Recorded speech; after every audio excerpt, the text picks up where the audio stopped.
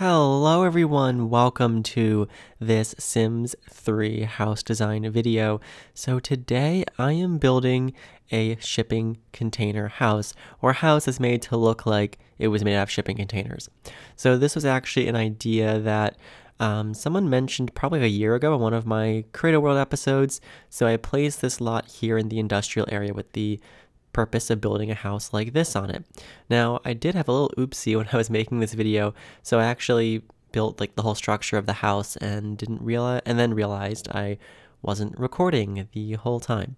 So I ended up taking some screenshots of what I built and I saved like some of the Create a Style uh, swatches. So I was able to come back and recreate it for you guys recorded.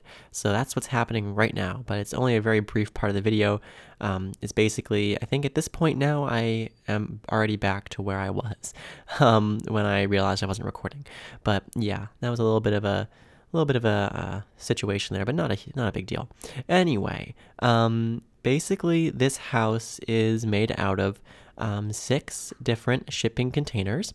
So there's actually two separate sections of this house. Um, there is the right side, which is four shipping containers, and the left side, which is only two. And they're connected by this like little bridge that kind of goes between these two um, foundation slabs, if you will. Um, so yeah, that's kind of the idea behind uh, this lot is that it's just like a, an, interesting arrangement of shipping containers that make a house. Now, um, this house was built on lot number 112, and I'll leave a down link in the description below, of course, so you can download this and place it in Plymouth Isle. Um, now, this house ends up having uh, two bedrooms and two bathrooms, um, and it's not huge as you could probably imagine. Um, I made every shipping container uh, in quotes because they're obviously not really shipping containers, but they're made to look like them. I made each shipping container um, eight by three. So really, the house is made out of six eight by three uh, rectangles. And there's also like some balconies. You can see like some of the uh, containers have accessible roofs, so you can go out onto the roof, you know, if you, if you want to. Um, also, if you hear any background noise, it's really windy outside, so my windows are kind of rattling a little bit. Um, so if you hear like creaking noises or something, that's what that is. Anyway, um, not a huge deal. So right here, I am just uh, actually separating up the foundation because I didn't like it being one giant block. I thought it was kind of ugly. So I decided instead to um, make it into like these two by two blocks um, and then fill in the rest with uh, flooring tiles so it looks like a little bit better, um, I think, uh, instead of just one gigantic concrete block going into the water. Um, and yeah, so this lot is mostly over water. Um, you can see it slopes down to the ocean, and I didn't at all utilize um, the full length of this lot. This lot actually um, goes back, I think, 30 tiles. I think it's like a 30 by 30 lot uh, or something like that. Um, so, yeah. But, uh, I mean, this house takes up most of the land area that the lot has to offer. Um, but yeah, like I said, uh, it's not a huge house, but it actually takes up like a lot of visual space. And I think it's just because of the way that it's spread out and then in the way that there's like a lot of outdoor space as well, which you'll see. Um, so yeah, and this house ends up costing I think like 110,000. So it's more expensive. That's because it uses like fancier stuff on the inside, but um, it's not really because it's a big house. But yeah, so I also couldn't put stairs in because uh, there wasn't any like room like where there wasn't enough space between where the containers overlapped to fit in a staircase so i had to put ladders in to get to the second floors but it's okay. Your sims can use ladders. Um, and then i just put the kitchen in there which i'm sure you just saw. I'm going to recolor stuff later. Um, the one thing i'm not sure about working is the master bedroom because uh, of course an 8 by 3 room isn't really big enough for a bed a double bed you know because it's not wide enough or you know deep enough.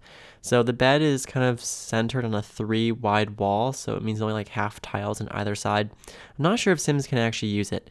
Um, i didn't actually test it but i did, and i also even if i did even if it doesn't work i just want it that way because it looks better. So if you download the house you probably would have to move that bed to make it work but not a huge deal. Anyway in the living room here. Um, so I'm actually, well, this yellow container here is the living room one and where the main entrance is.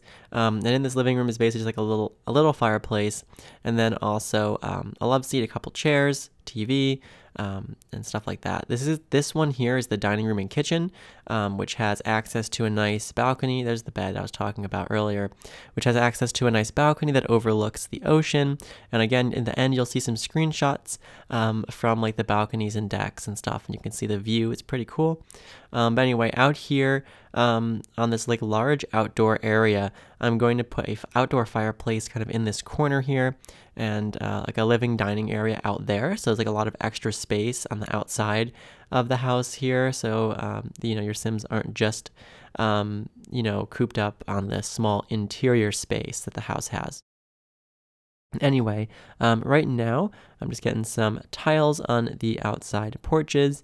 So I'm just doing that and recoloring those. I think I actually make them a little bit darker later on because it looked a little bit too like crisp and blindingly white. So I do tweak that. Um, I was going to put like a car parking spot, but then I decided not to because I didn't like the way it messed up the terrain.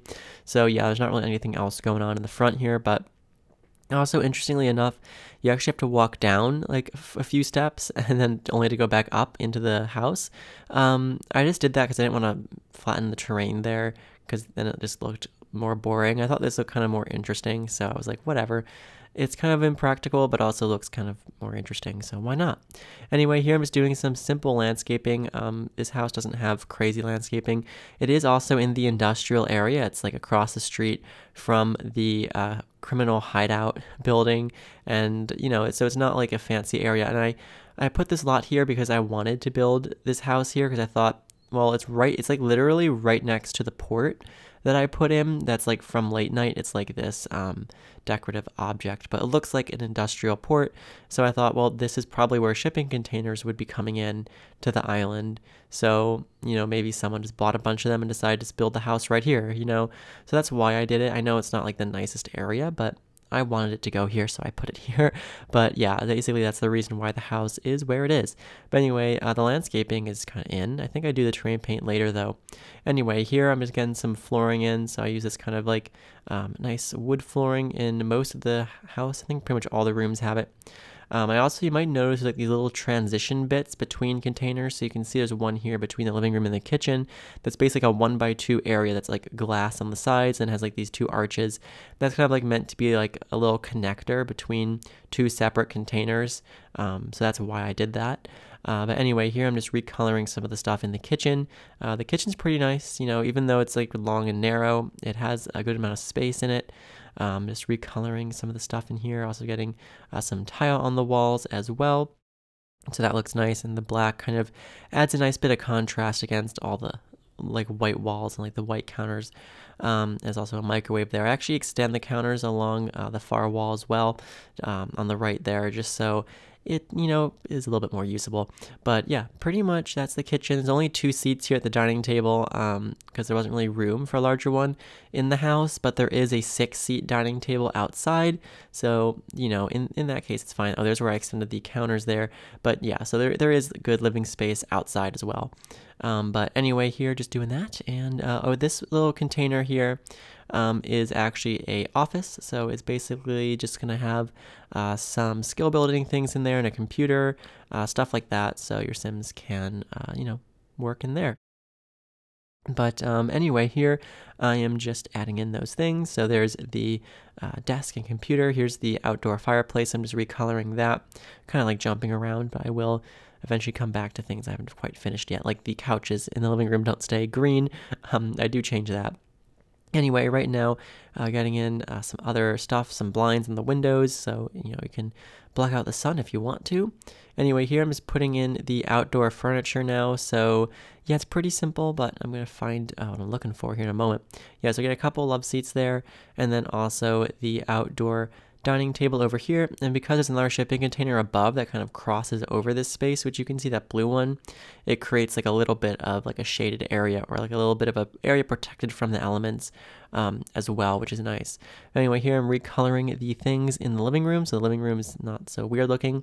So I went for like red or kind of like uh, the same kind of color that the red shipping containers are. So it's kind of like a desaturated red. It's more like a coral kind of color. Um, I kind of like made the containers not like super like uh, saturated colors because I wanted it to look like they're kind of worn a little bit or maybe faded a little bit. So like the red is more like a coral kind of like soft red, and like the yellow is more faded. Um, so that was kind of the idea behind that. But anyway, here I am just getting in uh, some art and stuff in the living room, a bit of a rug there on the floor, which is nice.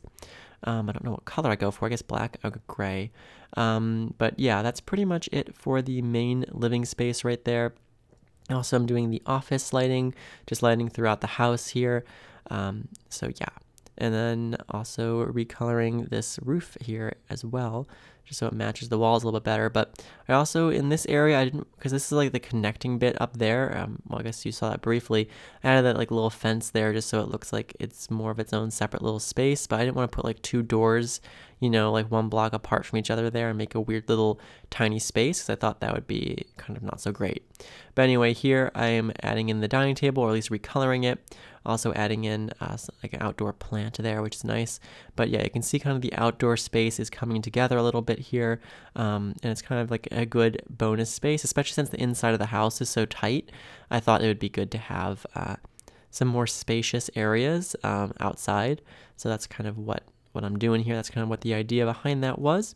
But uh, yeah, just adding some outdoor lighting in Two, also some outdoor rugs, so I make them like out of wicker, uh, just so it looks a little bit warmer outside. It's not like just all tile. Also putting some lights there by the fireplace and also a grill as well. So that kind of completes the outdoor area there um, and makes it look kind of nice and cozy and uh, also functional. You know, you have a uh, good amount of stuff you can do. You can cook out there, you can eat out there, you can sit out there. Um, so yeah, kind of a multi-purpose space. But anyway, now we're moving into the master bedroom. I use these like really small side tables and squeeze them up against the walls there so that they can fit in.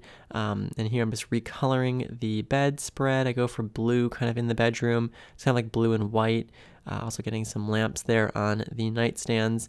And also you might have noticed that I put like very, very large windows, mostly facing the ocean. And then these smaller windows that face either small windows or no windows facing the front of the house because that's just facing an abandoned factory. So it's not like a nice view.